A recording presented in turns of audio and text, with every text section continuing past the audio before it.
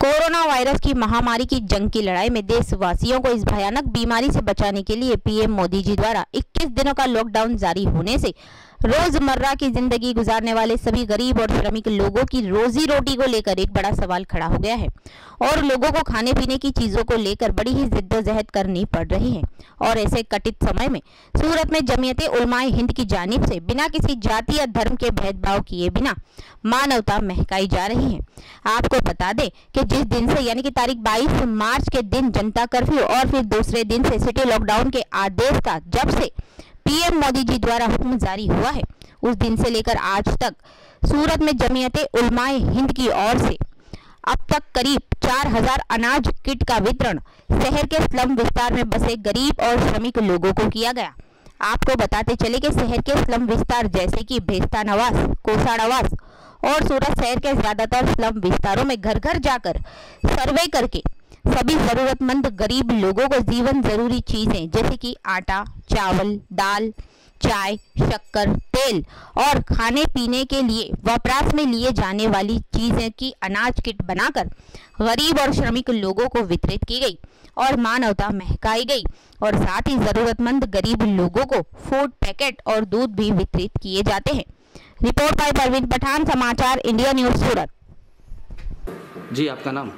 अरशद अहमद अब्दुल कादिर मीर, जमीयत हिंद सूरत की जानिब से इस नाजुक मौके पर मज़हब, ज़ात नात के भेदभाव के बग़ैर सूरत के बहुत सारे इलाकों में तकरीबन चार हज़ार कीटें तकसीम की गई और जहाँ जहाँ से हमारे पास मुतालबे आए और मांगे आई, हमारे साथी उनके घरों में जा जाकर कीटें तकसीम की।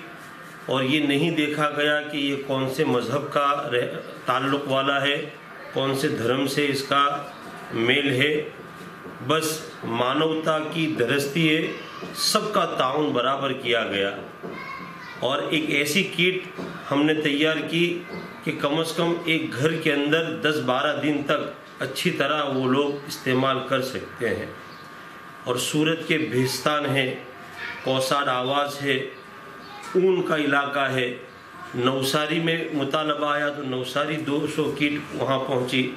रांदेर के कई इलाकों में और ये रामपुरा के 19 इलाके जमीयत हिंद सूरत को ख़ास तौर पर दिए गए तो एक एक घर में गए और सर्वे किया और तमाम घरों के अंदर अल्हम्दुलिल्लाह यहाँ कीटें दी गई।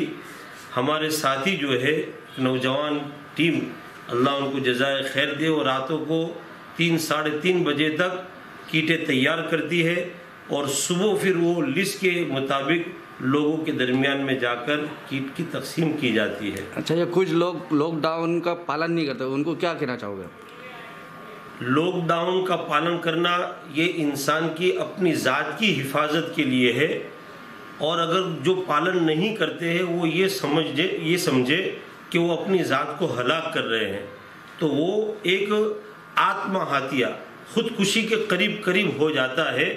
लिहाजा सरकार की तरफ़ से जो कुछ हमको आदेश दिए जाए, सूचनाएँ दी जाए, हम, हमारे लिए ज़रूरी है कि वो उसका पालन करें।